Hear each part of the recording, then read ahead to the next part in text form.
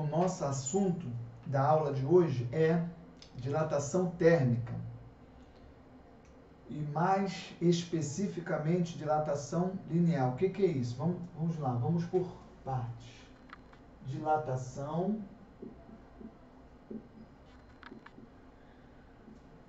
térmica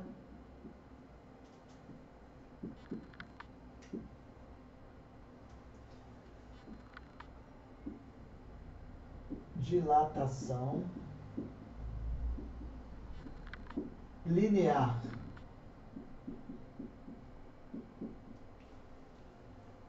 O que é uma dilatação térmica? Com o calor, com a agitação das moléculas, a tendência do, dos, dessas moléculas é uma expansão. Então, se nós temos uma, um metal, a tendência daquele metal é, se ele for aquecido, é ele se expandir. E aí, por exemplo, o concreto é a mesma coisa. Em, em, em pontes, em edifícios, você vai ver é, entre duas placas de concreto, você vai ver uma pequena abertura, um vão. Quando o calor dilatar, ela vai se aproximar, mas não vai trincar. Até mesmo no chão, em alguns blocos, você vê que tem um vão. Alguns blocos de concreto no asfalto. Você vai, precisa ter um vão ali para poder, com o calor, há uma dilatação e aí não, não vai trincar. A mesma coisa é o fio, é o, o trilho, aqueles trilhos de trem, ele tem entre uma placa e outra, ele tem um vão. Quando acontecer uma dilatação, aquele não vai estragar aquele aquele trilho. Ele vai vai dilatar com o calor, por isso que é aquele vão. Porque quando é colocado ali uma certa temperatura baixa, ele você deixa um vão. Quando vem o calor, ele se dilata. Então, por exemplo, eu tenho um, uma placa de concreto, um pedaço de concreto aqui, e com o calor ele vai ter uma dilatação, ele vai aumentar.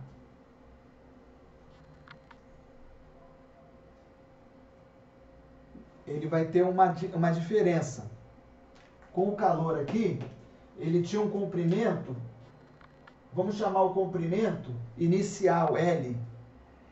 Então ele passou a ter um comprimento aqui final, comprimento total, final. E aqui houve um aumento, houve uma variação no comprimento. Então, esse comprimento L aqui final, que ficou maior, ele é a soma do inicial mais a dilatação aqui. Então, ele, esse, esse, esse trilho aqui do trem, ou, ou de concreto, ou de um outro elemento, com o calor, ele aumentou, tá? É claro que essa, esse aumento aqui, ele é pequeno, tá? É muito pequeno. É um, é um, uma, uma parte pequena, mas aumenta. Existe uma dilatação. E essa dilatação, ela depende do quê? Aqui vamos botar variação é, no comprimento. É uma dilatação. Tá? Como é linear, como aqui nós estamos falando da linear, ela tem um comprimento. Variação no comprimento. Ela depende do quê? Do comprimento inicial.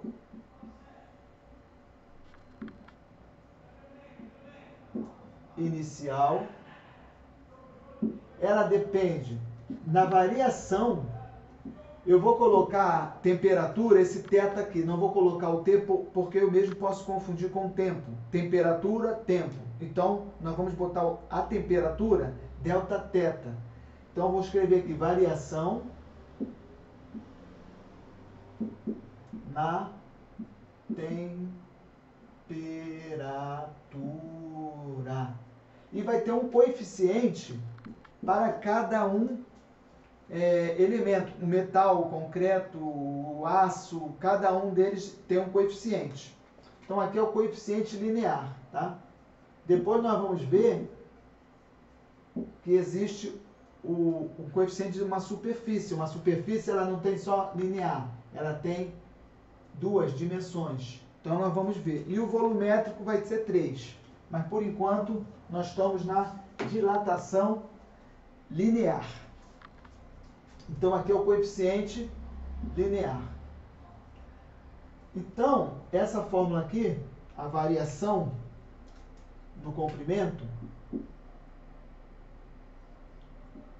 ela vai depender do L0, do coeficiente linear, do coeficiente de cada um elemento e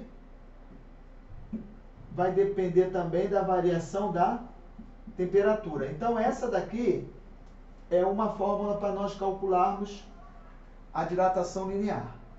E aí, se eu quiser aqui achar esse coeficiente, o que, é que eu tenho que fazer então? Pegar a variação linear, pegar a variação inicial é, e a variação na temperatura. Então você percebe que a variação na temperatura ela está aqui embaixo. O C está aqui embaixo. Aqui nós vamos botar metro, unidade de medida, metro e metro. Variação no comprimento e comprimento. Aí nós cortamos e aqui vai ficar, aqui é centímetro. Então vai ficar 1 sobre C, que é igual a C elevado a menos 1. Então a nossa unidade de medida aqui é o centígrado menos 1, ok? Vai ser sempre o centígrado menos 1. Os graus Celsius menos 1. Por quê? Porque a temperatura está aqui embaixo, ok? Para calcular. Bom, tem uma outra fórmula. Essa fórmula aqui, ela vai calcular a variação. Ela vai calcular a variação do comprimento. Agora, eu posso usar uma outra fórmula que eu calculo direto esse L aqui. O que, que eu posso fazer? Eu posso substituir aqui nessa fórmula o, o ΔL. E aí eu vou calculo direto. Porque se eu achar que a variação é, é 0,1, 0,001, 0,09, é sempre geralmente são pequenos e eu tenho que somar com o comprimento inicial, porque aqui é o que aumentou. Isso aqui é da fórmula que aumentou. Então, eu posso ter, eu posso substituir. É, posso substituir essa nessa para me ter uma fórmula só. Ok? Então eu posso substituir aqui o ΔL o que, que é um ΔL? Um ΔL é um L menos o L0. Né? Eu passo para cá, não é isso? Aqui é L0. É... Aqui é alfa, aqui é delta teta. Eu passo o L0 para cá, L é igual, aqui vai ficar mais, L0 mais isso tudo aqui, L0 vezes alfa vezes delta, teta. Como eu posso colocar em evidência, eu tenho L0, L0, eu coloco em evidência. Divide esse por esse, dá 1. Divide esse aqui por esse, dá alfa.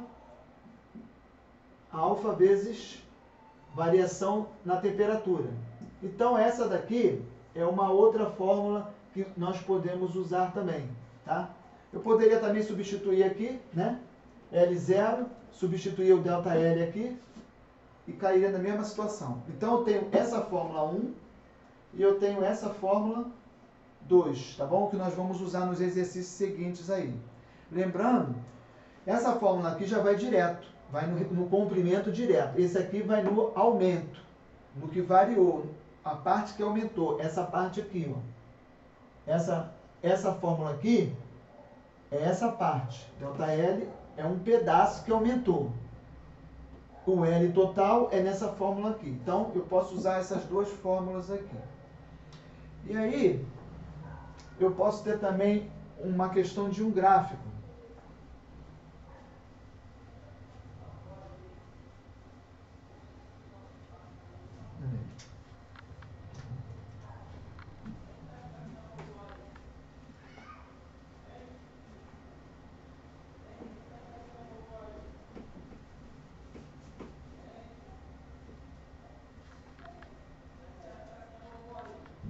Então eu posso ter um gráfico que aqui, aqui é o comprimento e aqui é a, é a temperatura, ok?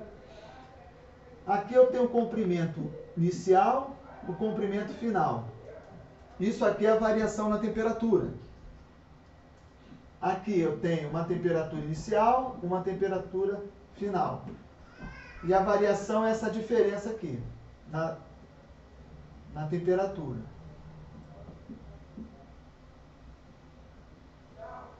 Então, se der um gráfico e você ele não deu mais nada, aí você precisa de achar o L0. O L0 é o número que tiver aqui. Pode ter o número 10, 30, 40, 50, é o número que tiver aqui. E, perdão, Aqui,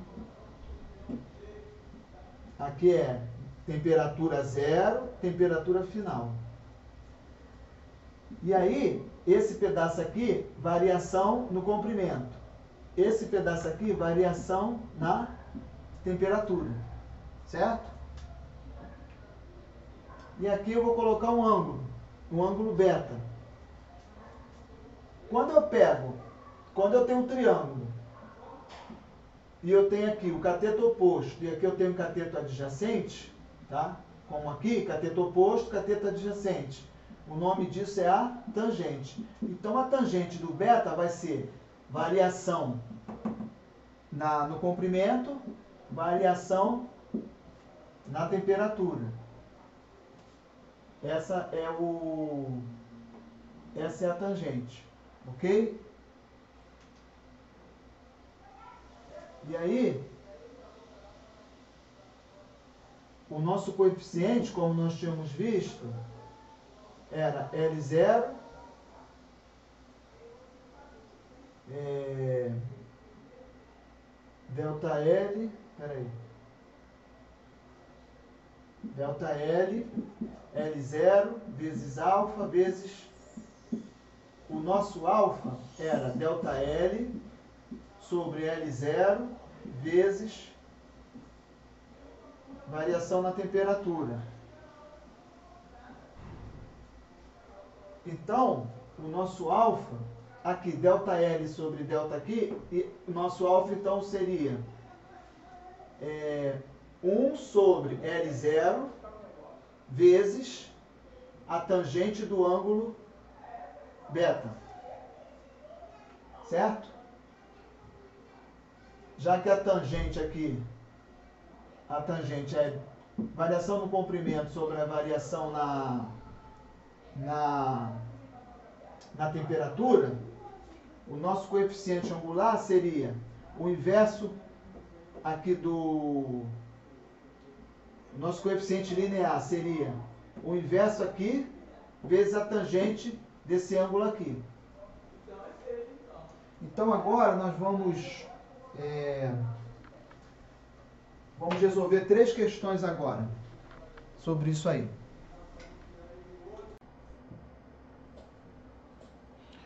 Uma régua de aço tem 30 centímetros de comprimento a 20 graus centígrados. Qual o comprimento dessa régua a temperatura de 200 graus centígrados? Coeficiente de dilatação do aço alfa igual a 1,2 vezes 10 elevado a menos 5. Como eu estava dizendo, nós temos duas fórmulas na, nós temos essa fórmula aqui, L, L0, 1 mais delta teta, que é a variação de temperatura, e nós temos a outra fórmula, que variação no comprimento é igual o comprimento inicial L0 vezes o alfa vezes a valorização ou vezes a variação da temperatura. Nós vamos primeiro, no primeiro exercício, nós vamos resolver com essa fórmula aqui. É, com essa fórmula, nós achamos a variação. A variação, ela é pequena, tá? Vou até escrever aqui. Variação no comprimento é pequena.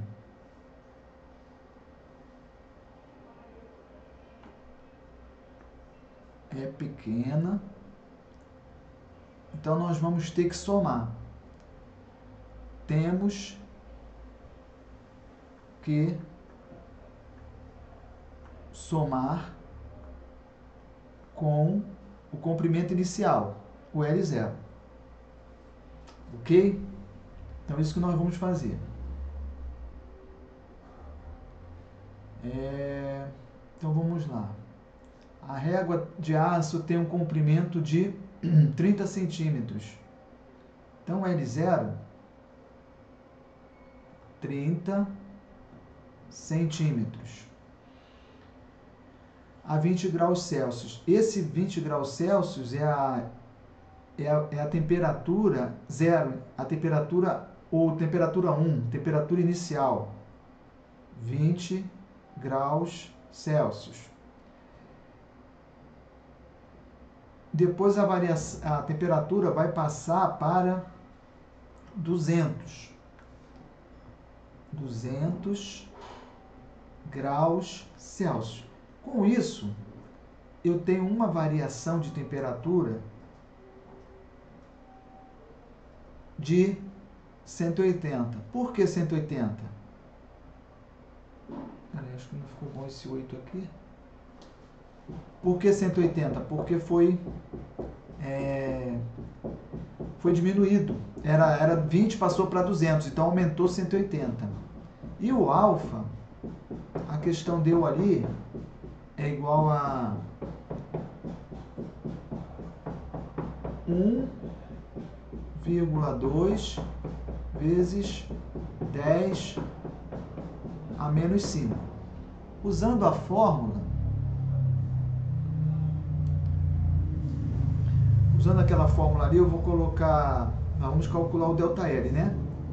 ΔL, vou colocar direto, o L0, 30, vezes o alfa, 1,2 vezes 10 menos 5. E a variação da temperatura, 180. Esse, esse ΔL é um, é um número muito pequeno, que é o aumento, que é um aumento pequeno no tamanho dessa régua. Um tamanho é, bem pequeno. Mas, mas vamos lá. Depois vamos ter que somar. É, bom, 180 vezes 8. Não, 180 vezes. É, vou botar aqui 180 vezes 1,2 primeiro. 180 vezes 1,2. 0, 2, 0 vezes 2, 0. 8 vezes 2, 16. Fica o 6 e vai o 1. 2 vezes 1, 2. Com 1, 3. Agora, multiplicar por 1 é fácil. É 0, 8 e 1. Multiplicar por 1, não altera em nada. 0, 6, 11, vai 1. 1 mais 1, 2. Como aqui tem uma casa, deu 216. E o 216 eu vou multiplicar pelo 30. É 0 18, vai 1, 3 vezes 1, 3, com mais 1, 4, 2 vezes 3, 6. Deu 6.480, é, só que 6.480 vezes 10 elevado a menos 5. O que, que acontece? Elevado a menos 5, eu tenho que andar 5 casas aqui. Então, vai ser 1, 2, 3, 4, 5. Tem que botar mais um zero. Epa, perdão, peraí. Mais um zero aqui, vamos ver se é isso mesmo. 6, 4, 8 e o zero ali, tá. Então vamos lá. 1, 2, 3, 4, 5, correto. Esse valor aqui, 0,600 e é o número que nós vamos. É, posso até fazer o seguinte: arredondar 0,06. O comprimento é o comprimento inicial mais o aumento, que é a variação.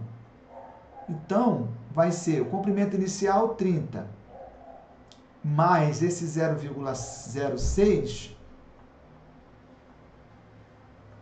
esse comprimento vai ser 30,06 centímetros.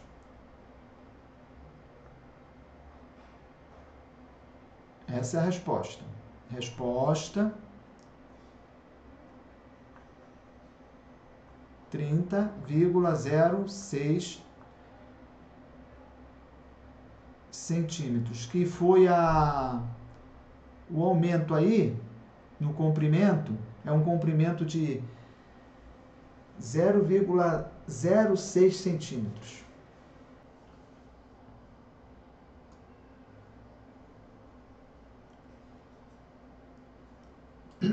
Uma viga de concreto, aí vem o coeficiente ali do concreto, alfa do, é igual a 12 vezes 10 elevado a menos 6. Tem 100 metros de comprimento a 20 graus. Que comprimento terá a viga a 30 graus. É, nós, nós lembramos que nós temos aquelas duas fórmulas. A fórmula do, da, da dilatação linear, que é igual a variação na dilatação linear, L0 vezes alfa, vezes a variação na temperatura. Essa fórmula nós usamos no outro exercício. Então, nós não vamos usar mais nesse. Vamos usar, vamos usar agora essa, que já dá o comprimento da viga completo, o L, que é o L0 vezes 1 mais alfa vezes variação na temperatura. Bom, é... Primeira coisa que ele dá aqui é o alfa. 12 vezes 10 a menos 6. Ele dá 100 metros. 100 metros, comprimento inicial. L0. Ele dá a primeira temperatura, a temperatura inicial. Eu vou botar θ zero, que é igual a 20 graus centígrados. E a segunda, depois ele passou para de 20, eu vou botar a final, né? 30.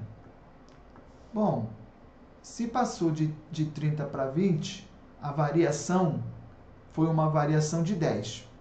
Então, eu vou colocar aqui 10, 10. Então, agora é só completar aqui.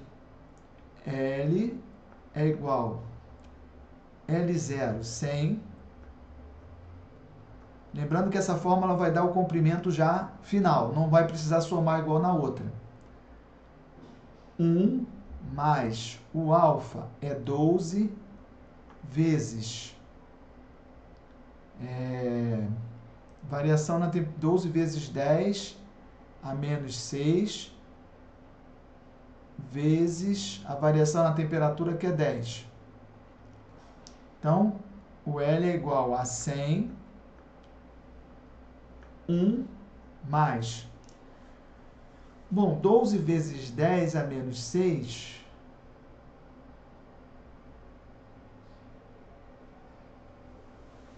é, vai ficar o seguinte, peraí, eu vou fazer o seguinte, eu vou botar 12 vezes 10 a menos 5. Por quê? Porque tem o, aqui, nesse aqui tem um expoente 1. Menos 6 mais 1 dá menos 5. É uma subtração. Então ficou menos 5. Aí, 100, repete o 1, e aí eu vou colocar o 12, os, a vírgula está aqui, depois do 2. 1, 2, 3, 4. 1, 2, 3, 4, 5, menos 5. Então, ó, o, a vírgula era aqui, de, depois do 2, passou uma, duas, três, quatro. Peraí, ainda faltou aqui.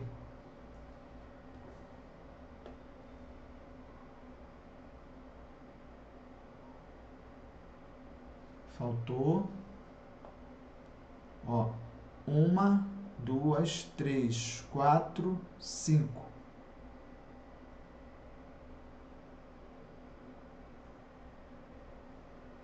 5. Então ficou 100. 1 mais 0,0012 ficou 1, aí vem 3 zeros, 0, 0, 0, 12. Então tem que multiplicar esse número pelo 100. Como é que eu faço? Eu vou pegar esse número,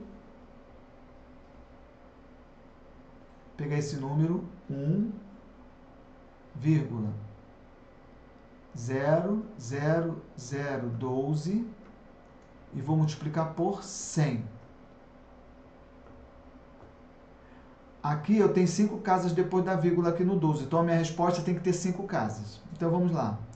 0 aqui, 0 aqui, 2 vezes 1, 2. 1 vezes 1, 1. 1 vezes 0, 0, vezes 0, 0, vezes 0, 0, vezes 1, 1.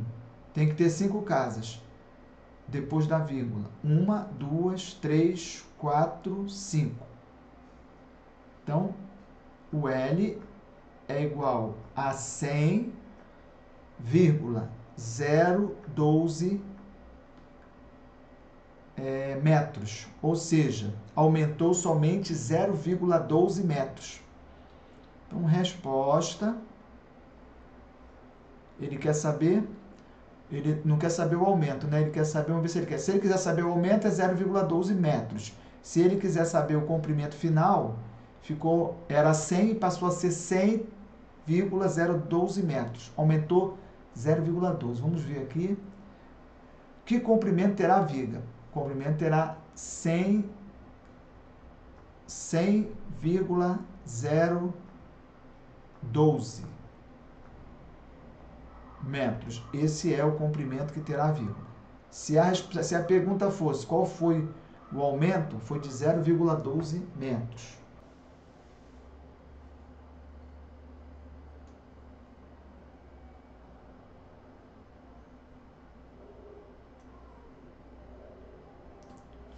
O comprimento de uma haste metálica em função da temperatura é dado ao lado. Qual é o coeficiente de dilatação linear desse metal? Coeficiente é o alfa. Essa é a pergunta.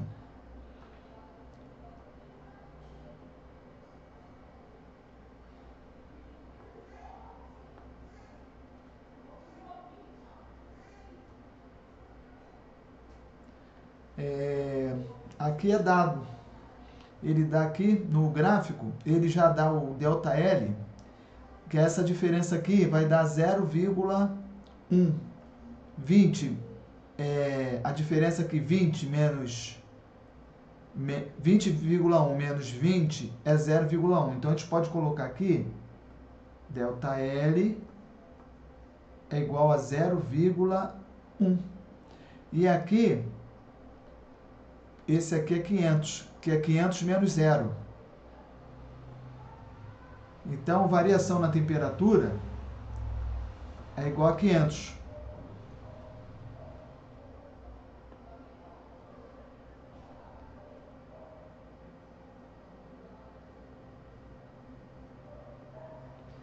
É, então, gente, pela fórmula de variação, nós temos o seguinte, que a variação é L0 vezes alfa vezes variação na temperatura.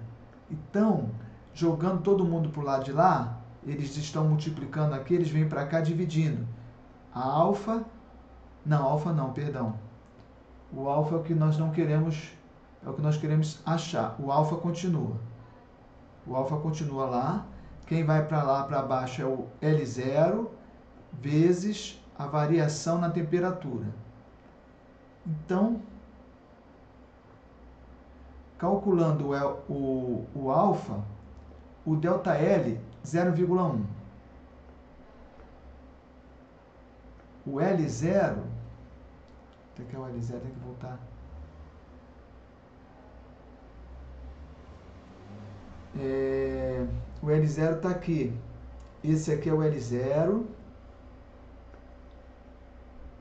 Esse é o L, final, né, no caso. Então L0 é 20. Então vou colocar até aqui L0 20. Nós vamos usar aqui na fórmula L0 é 20.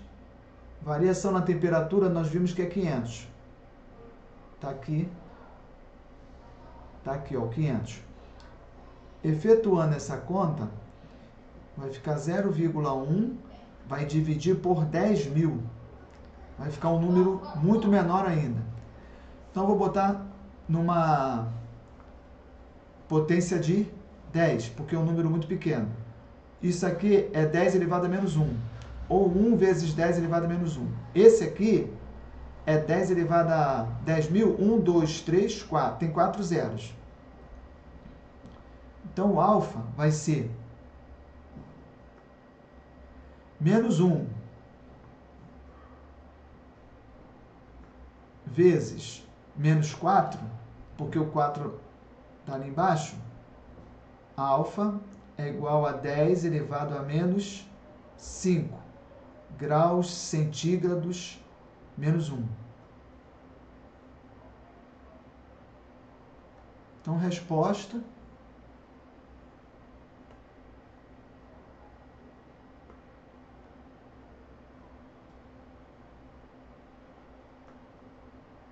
10 elevado a menos 5